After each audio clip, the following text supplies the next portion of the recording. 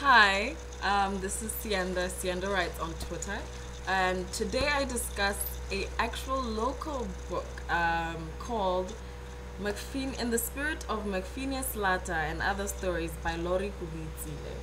Now, this is what I can only describe um, quite briefly as a collection of award-winning stories and stories that should also win awards. I, I'll just say that of all the short story collections that I have read in the past few years, this was the most entertaining, this was the most funny, this was the most light-hearted, but also very touching. And it has been written by a local writer, which made me very happy because in the past few years, to be very honest with you, I have not found many, many good um, Botswana writers, and I was very happy to stumble upon the title short story of this book that led me to this book. Now, the title short story of this book, which I think I've already discussed in a previous um, video, I would say this is one of my favorite short stories of all time. And I may be biased, it might be because it's um, set in my country, but I actually think that it's because of the way that she handles kind of African literature, especially Botswana literature. I really truly believe that she captures our own natural storytelling style, which is to have as much humor as possible in a story um, or not take everything so I wouldn't say seriously but it's we we have a tradition of telling very light-hearted stories and it's very interesting that um, she is able to capture that sort of thing um, to capture the spirit of Botswana short stories even though I get the impression that she is not originally a Botswana citizen. Um, I actually think she's an American citizen originally. I'm I'm not quite quite clear about the exact whereabouts in America where she is from, but still she does a very brilliant job of portraying Botswana people in all kinds of different situations while maintaining an element of humanity, um, while still um, discussing things that are not necessarily fun topics to talk about or to write about. Um, she manages to see like to shed some very light-hearted light on all of these stories and I think that really captures what it means to be a Botswana storyteller and I absolutely enjoyed this book. Now like I said the title story which is the one I think I'll talk about two or three of the stories that um, were actually very much critically acclaimed and which I also found myself connecting with at a very high level. Firstly, I'll speak about in the spirit of McPhineas Lata. I'll try and find um, a link to a soft copy of that online if it's somewhere there. Um, and then maybe link it for you so you can understand why I absolutely love this short story. Anyway, this short story was actually shortlisted for the Caine Prize in 2011, which is quite, you know, amazing. And this is probably one of the funniest short stories I've ever read, and I think I've already discussed it in a video in which I spoke about the bed book of what is it? The bed book of short stories by Modjaji Books. Um, that was published in 2011 or 2010 and I, I think I'll link the video below so you can see that um, discussion. Anyway, I'll tell the story again. So it's basically a story that is set in a village called, I think it's Nokanyana or Nokunyana. Let me just um, check. Yes, or something. If I'm wrong, I'll write the proper name down below. So it's set in a village in which there is McPhineas Lata, and it is starts um, in the scene of his funeral where he has obviously died, and it begins at the end basically. Um, and McPhineas Lata is known to be the biggest, you know, lover boy in the village. He pleases all the very, very surly and mean um, women of the village and basically once a week takes them off the hands of their very hard, um, ha uh, very much bothered husbands and very much abused husbands by their wives and basically, you know, pleases them. And what I enjoy about the story is what happens is um, it's it's a it's a story based on sex to be completely honest with you but it is never quite um, clearly stated with which I think is a great honor to how very much conservative Botswana culture is about sex, especially amongst you know elders and the like. And she does a very good job of sensitively approaching the subject, making you laugh, making you think, but not making you feel offended on behalf of you know Bantu culture or you know Tswana customs or African traditions or anything like that. And I very much enjoyed the way that she approached it, especially how she tells the story of you know, a village of men who, after the death of this huge lover boy, um, convene at a is that the way that I meet at a bar every once every week to discuss the strategy on how they plan on pleasing their wives when this lover boy is out of town.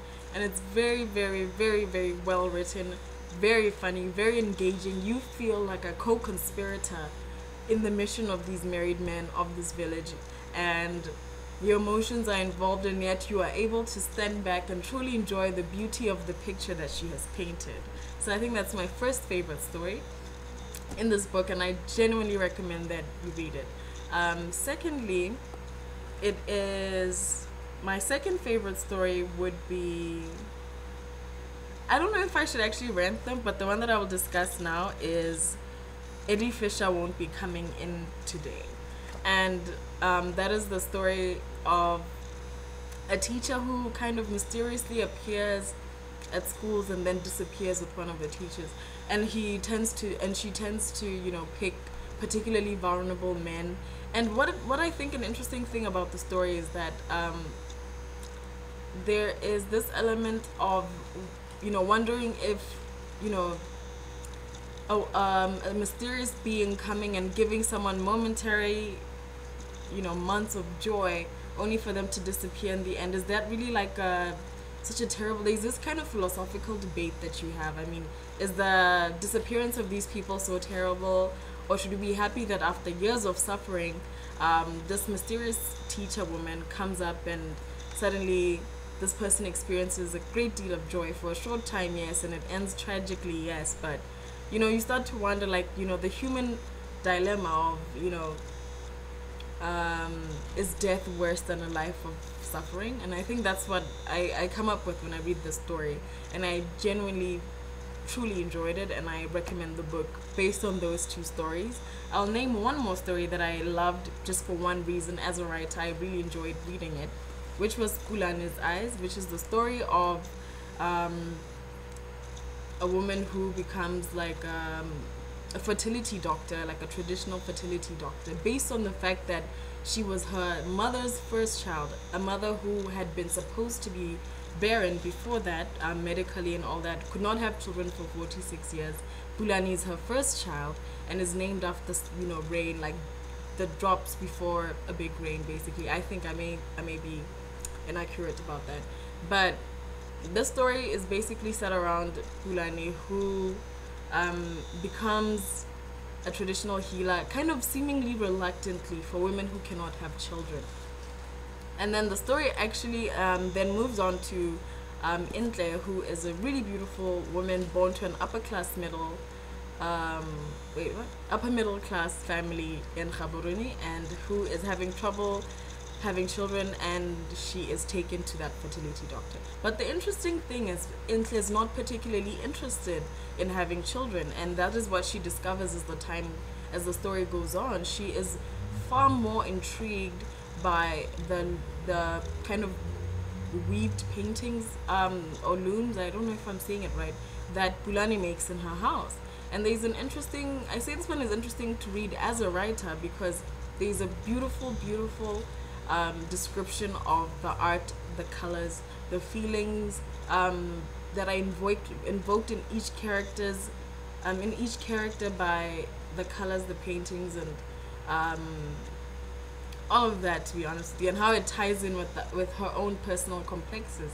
And I think, as you know, as a budding writer, as a young writer, that is a good story to like um, read as a means of understanding description understanding linking outward physical elements to um, a character's own emotional progression um, as they move closer and closer to their own epiphany.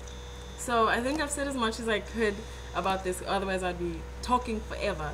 But In the Spirit of McPhineas Lata and Other Stories by Lauri Kubuitsile is a brilliant book, and I very much recommend that you get it. It's a very fast read. As you can see, it's a very thin book.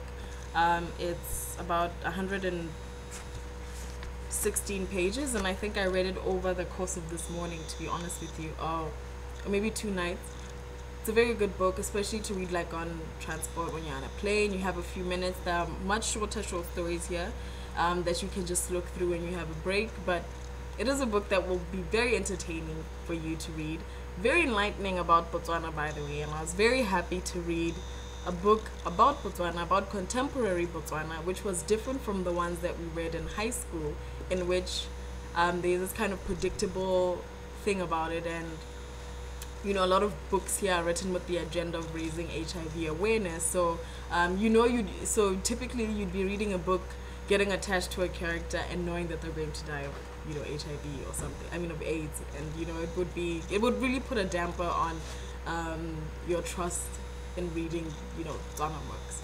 So I recommend that you get this book. Um, tell me what you think, and I will try and find a link to her website below. And yeah, so this is a great book to get, and I'm just going to sign off. I hope you enjoy your Sunday. This is Siyanda Siyanda Writes on Twitter, siyandawrites.com, etc, etc, etc. Thank you. Bye.